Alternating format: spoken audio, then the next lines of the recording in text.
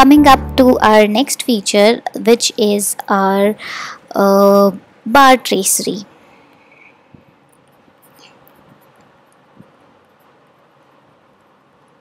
Now, what is bar tracery? Bar tracery is kind of a frame which in Gothic architecture was used over your windows.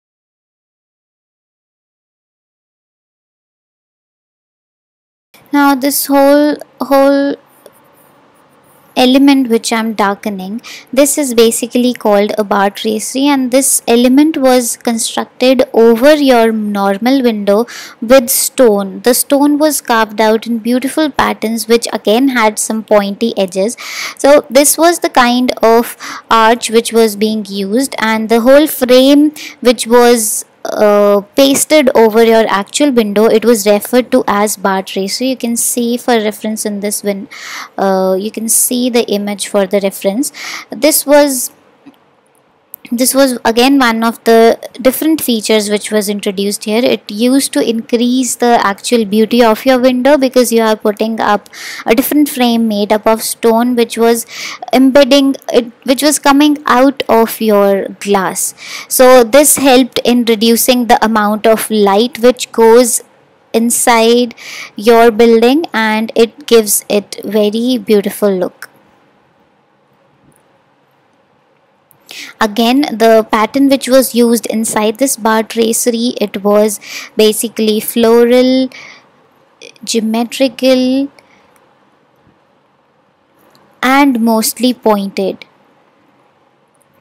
Again so as to give it a look of a pointed arch architecture the next feature is the stained glass windows. Now stained glass windows everyone knows about it. Now in stained glass windows the internal filling of the window, the glass of the window was actually painted with different colors and they were beautifully carved in bright colors and the things which were carved out on this they were basically geometrical patterns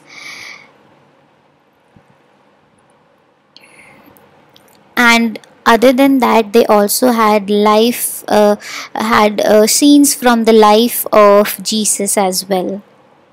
Now the last feature uh, sorry the second last feature that we are going to discuss is flying buttress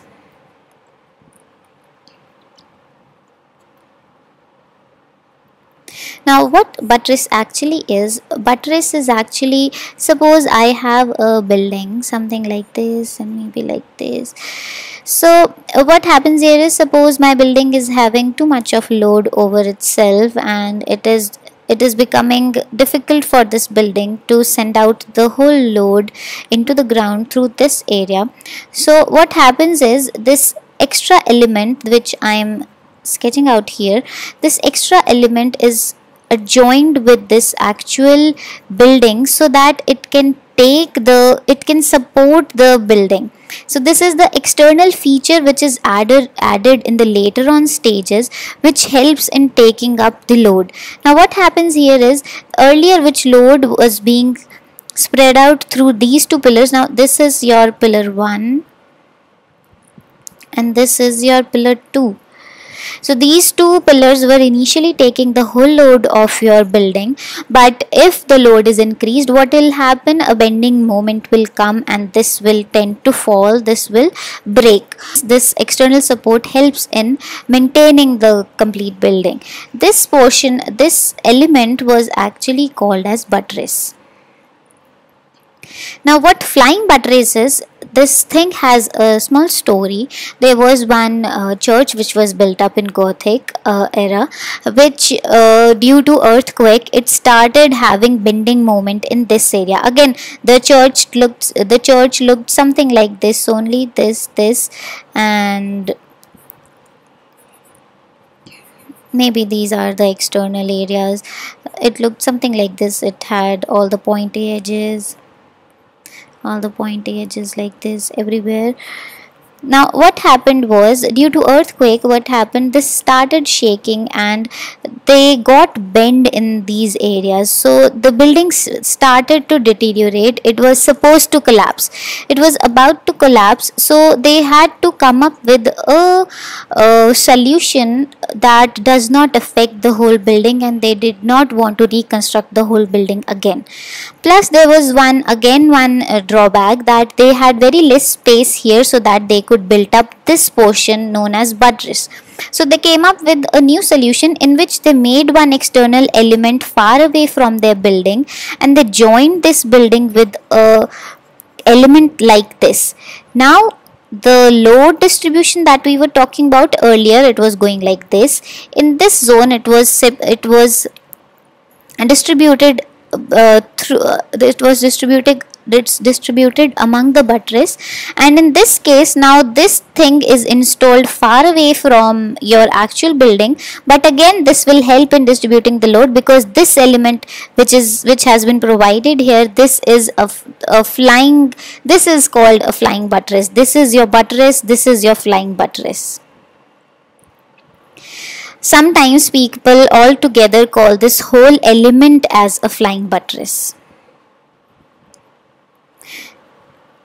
so you know about the basic concept now. What was the history about it? Since this is far away and this looks like a bridge kind of a thing that's why it, it looks like it's flying. It is in the air. It does not have a support. That's why it is referred to as a flying buttress now the last feature that we are going to study is called gargoyles. Now I'll tell the feature about this using an image. One two okay. So the this creature that you see here this is a gargoyle. Again this was used in most of the fantasy comic series of batman and gotham city. So this you can see this might represent something dark something evil. But in actual what happened was this gargoyle it was used it was used for two things. First to eliminate evil evil or we can say negative energies. So people in gothic era they used to think that if they put the way we have in india we have uh, scary faces uh, pasted over our homes in front facade of our buildings. We do that so as to avoid evil so as to avoid negative energies inside a house. In the same way god uh, thought that if they introduce these kind of sculptures in their buildings it will keep away the negative energies.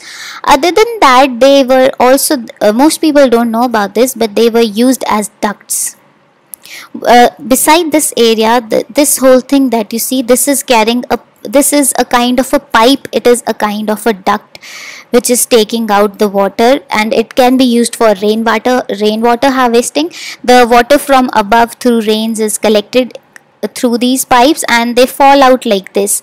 So this becomes one fountain.